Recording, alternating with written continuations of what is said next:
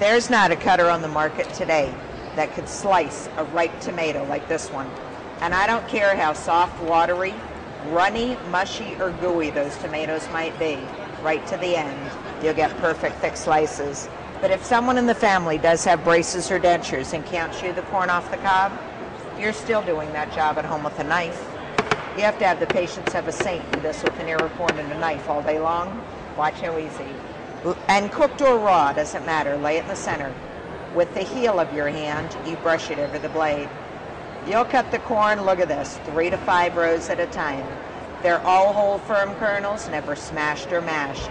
And you see how nice it cuts it off the cob? I'll put it up front. You won't find any cob in there either.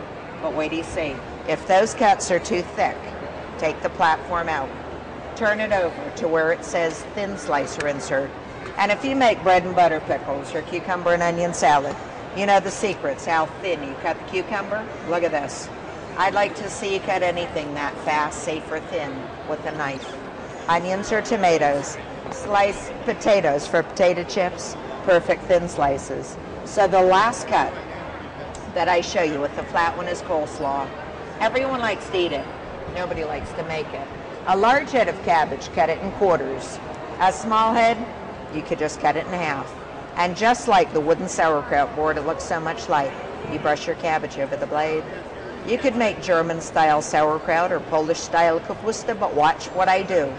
Because you run your cabbage down about halfway so that you don't endanger your fingers, please stop. Now put the core onto that holder. You'll run it right to the end. If you make tacos, taco salad or subs, shred lettuce up the same way. And I only do a little bit here just to show you, but I think you'll agree. Your cabbage or lettuce would come out of that cutter nice as could be, and it's fresh as well. The next time that you see mother or grandmother with the celery in one hand, the butcher knife in the other, chasing it halfway across town to try and chop it up, you will remember this part. You've never chopped celery this easy in your whole life. Look at this. You brush it over the blade for your soups, your stews or salads, meatloaf or meatballs, stuffing or dressing for turkey or chicken. Look at this. How long would it have taken you to chop up that much celery with a knife? The most miserable thing in the kitchen to chop has got to be an onion. We shed more tears over one onion than we do over anything else. No smell in your hands. No tears in your eyes. Look at this. In two seconds time here, right to the root, no waste or cuts. And no more tears chopping those nasty old onions. If you want to dice a tomato for any reason, you are going to love this.